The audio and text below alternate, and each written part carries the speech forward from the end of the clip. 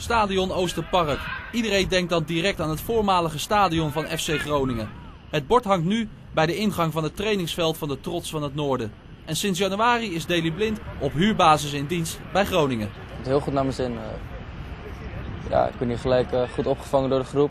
Eh, ja, gelijk overal. eh, ook eh, tijdens de training kon ik gelijk eh, mijn spel, eigen spel spelen. En eh, ja, ik heb het ontzettend naar mijn zin hier in Groningen. Hoe zou je deze club eh, omschrijven? Het is een hele warme club. Eh, het is een club eh, met name heel- veel goede mensen die eh, ja, toch elke keer met je bezig zijn. eh, elke training, elke dag om, eh, om je beter te maken. En eh, ja, ik denk dat dit eh, echt goed is voor mijn ontwikkeling. Ontwikkeling, daar draait het allemaal om bij de verdediger die al eens werd uitgeroepen tot het grootste talent van de toekomst. Na de winterstop kwam hij al tot 11 officiële wedstrijden. Ik denk eh, dat dit toch een ander niveau is dan eh, de beloftecompetitie op, eh, op maandagavond. En eh, ik denk dat ik hierdoor eh, ja, toch elke week tegen snellere, sterkere, slimmere spelers speel. Eh, daardoor zal ik zelf ook daar weer op moeten anticiperen. En ja, ik denk dat het heel goed voor mijn ontwikkeling is dat ik hier gewoon kan spelen. Je krijgt lovende kritiek, hè? Zelfs volgens mij drie keer hier in het stadion uitgeroepen tot man of the match. Lovende kritiek uit de pers van de trainer die enthousiast is over je. Zelfs als rechtsback. Ehm, ja, merk je zelf dat je echt een betere voetballer aan het worden bent?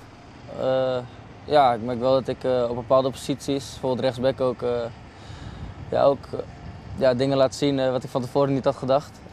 Maar het gaat nu allemaal ja, heel snel voor mij en ik probeer elke wedstrijd gewoon ervan te genieten. En ja, tot nu toe gaat het allemaal goed. Dus, eh, Was het toen je hoorde dat je rechtsback zou gaan staan? Hoe ging dat precies? nou, we waren aan het trainen en Lucius die viel geblesseerd uit. En toen ja, kwam de rechtsbackpositie vrij en Stoch die ging toch vaak naar binnen omdat hij rechts is. Tegen Twente. Ja, tegen Twente, ja. Tegen Twente, ja.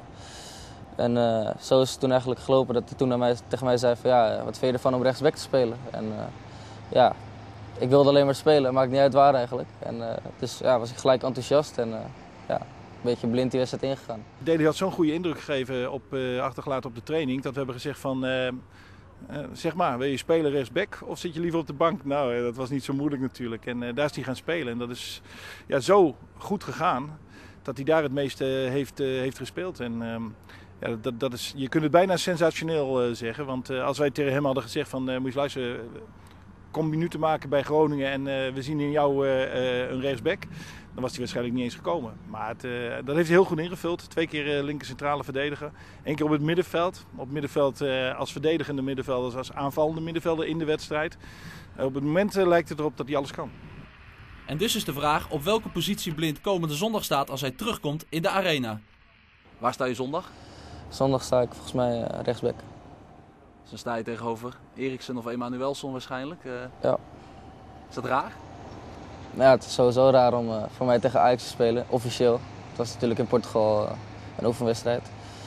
Maar tegen Ajax, ja, ze- zeker een speciale wedstrijd voor mij, ja. Wat verwacht je van aankomende zondag? Ja, ik verwacht dat, dat Ajax er bovenop zal vliegen. Die moeten natuurlijk eh, voor het kampioenschap gaan. Maar ik denk, eh, wij hebben een ploeg die eh, vol, vol zelfvertrouwen zit door, de, door de afgelopen reeks die we, die, we neer- die hebben neergezet. En ja, ik denk dat wij er ook vol vertrouwen in Is het, ehm, ik kan me voorstellen dat het een beetje een dubbel gevoel is voor jou natuurlijk. Ik kan me voorstellen, je gunt Ajax het kampioenschap. Maar je wil zelf ook winnen. Heb je dat dubbele gevoel ook van binnen? Ja, dat heb ik natuurlijk ook. eh natuurlijk, het is mooi als Ajax eh, kampioen wordt natuurlijk. Maar eh, ik ben een sportman en eh, die wil altijd winnen. En, dus wil ik zondag ook gewoon winnen met Groningen. Zondag